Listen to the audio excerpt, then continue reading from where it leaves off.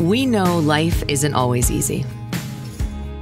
But even in the darkest times, joy can light our way and bring us together.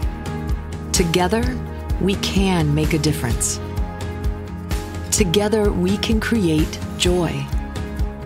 And when we encounter obstacles, we'll get around them. When we face setbacks, we'll work harder. If we can't be together physically, we'll find a way to connect virtually. Hey, Bo, it's Cameron here.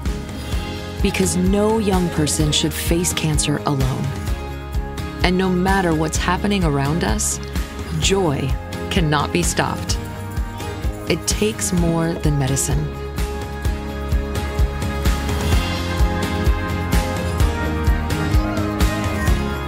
The future is joy.